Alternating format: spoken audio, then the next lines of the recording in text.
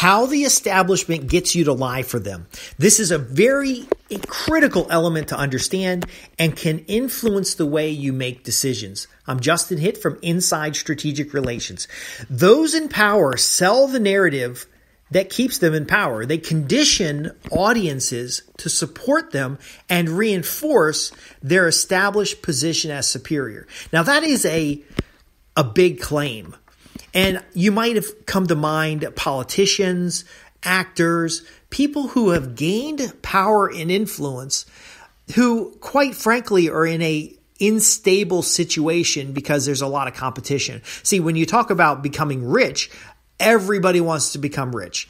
Some people will do it ethically, some people will do it without qualms of you know ripping off the next person.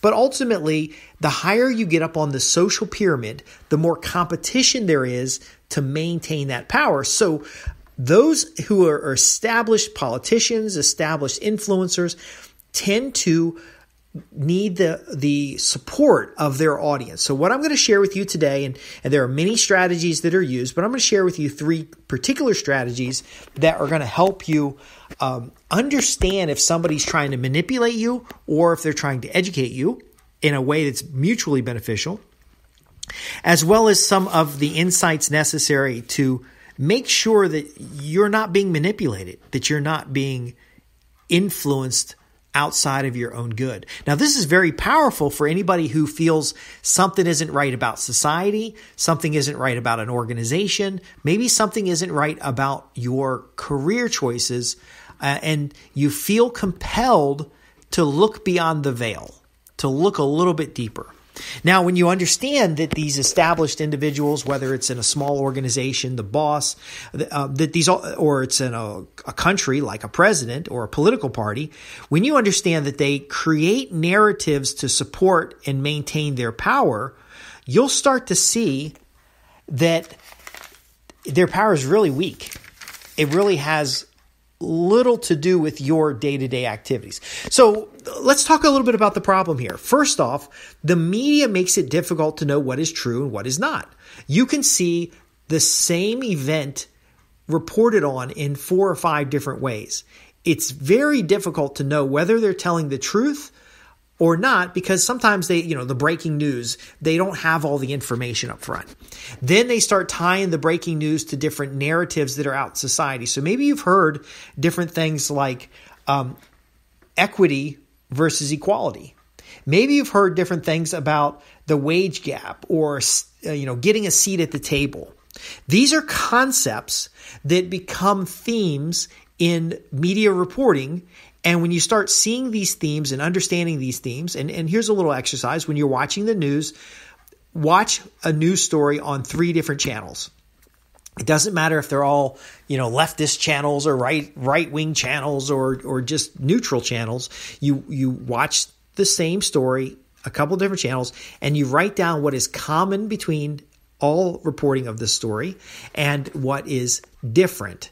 Uh, there's actually a really nice news site that shows you the biases in media, but essentially it's a practice in recognizing biases.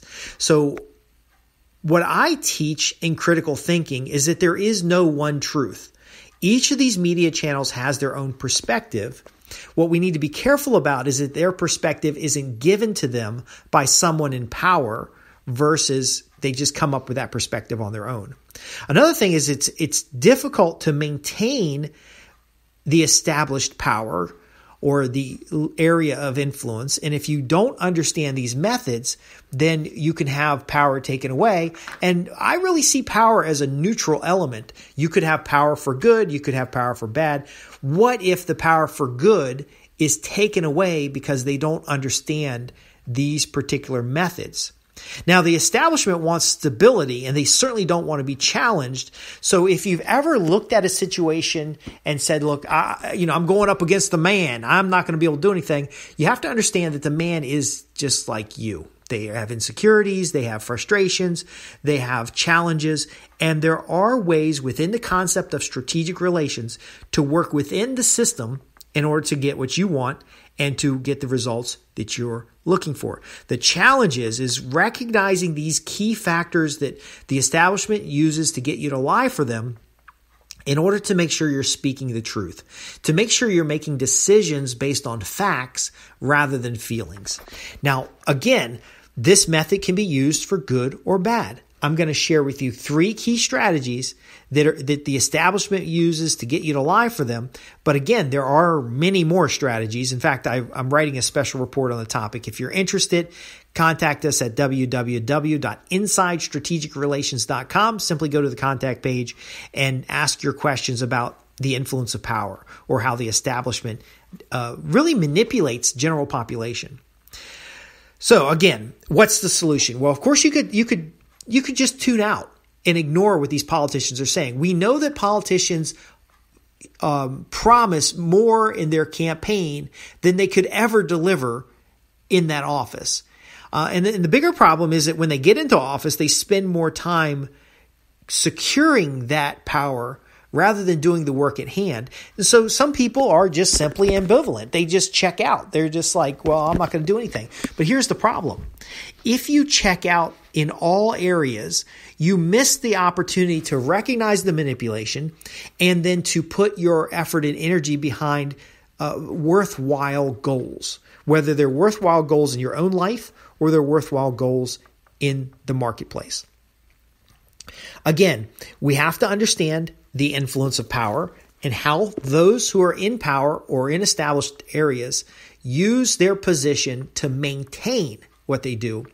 And we have to approach it with a neutral view because really, if you're just going to fight the establishment, then after one established group is is drawn down, you now just have another group to fight because there will always be folks in the top 1%. There'll always be people in powerful positions.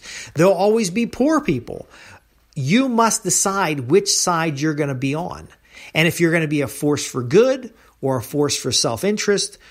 But again, fighting the establishment is too vague and pretty much keeps you always fighting. Another thing is to research your position you may actually have certain power and influence where you want to use these methods to maintain that power and influence so that you can complete a worthy goal. Now, I'm going to leave it up to you to judge what is good and what is bad, what is worthy and what's not. That's not my place. Um, I do advocate that you have strong written moral foundations. You write down what you'll do and what you'll not do to get power. You'll go through goal setting exercises. Uh, but again, I try to present as neutral as possible the concepts for you to use for your benefit and hopefully for the benefit of those around you. But let's talk about some of these three, uh, three of many methods that those in established positions use in order to maintain their power. Number one is applying emotions to generic situations. Okay, you have um, an event, something that happens in public, and now we are uh, these folks in power are going to take the common situation and elevate the emotional aspect. And in fact, they're going to use that generic situation that happens all the time as why they are right and how you should support them in transforming or changing the narrative. Now, this applying emotion to situation could be done with false facts.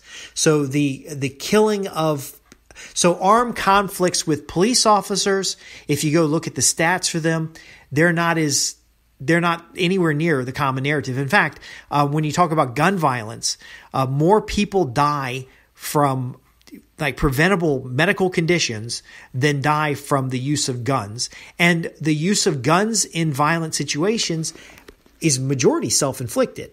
Uh, so these guns are not being used in crimes. They're not being used in a lot of areas. Now that that said, guns are used in crimes, just like hammers and fists and feet and uh, you know poison and and uh, other household objects. But ultimately, the emotion is going to trump this situation, and then you can stack these situations. Black Lives Matter does this a lot. You can stack these situations. Now, again, I'm not saying whether the situation is good or bad, but what I am saying is that someone who wants you to spread a story or support a narrative needs the emotional perspective so that you you don't think about it, but you feel it, you act on it. Another thing that they do is they they establish the belief that opportunity is given rather than earned. So this is very important. Politicians do this all the time. They say, you don't have a seat in the table because of the patriarchy and because this system is against you. And all you need is someone to give you a chance. And you hear the narrative with feminists sometimes um, we just need a chance.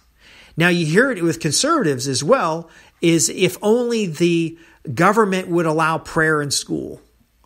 If only so, well, by saying someone out there can grant you the powers that you don't have, that can bestow upon you opportunities that you see others enjoying, they're reinforcing the concept that you have to ask for permission and you have to go to the establishment or create a new establishment in order to get what you want. Frankly, folks, in all the years that I've been doing uh, business or working in, in different interesting environments, uh, you always have more power than you can imagine. You always have the position to make a decision that's going to have a beneficial outcome to you. Now, again, if you believe your boss is the only person who can give you a raise, then you miss out on the opportunity that you can just go get another job. Or you can start a side business, or you can uh, you know, find a new opportunity in the same organization. People who have established power, even in, in the lower levels of power, want you to believe that they have to grant you or somebody will grant you that next opportunity.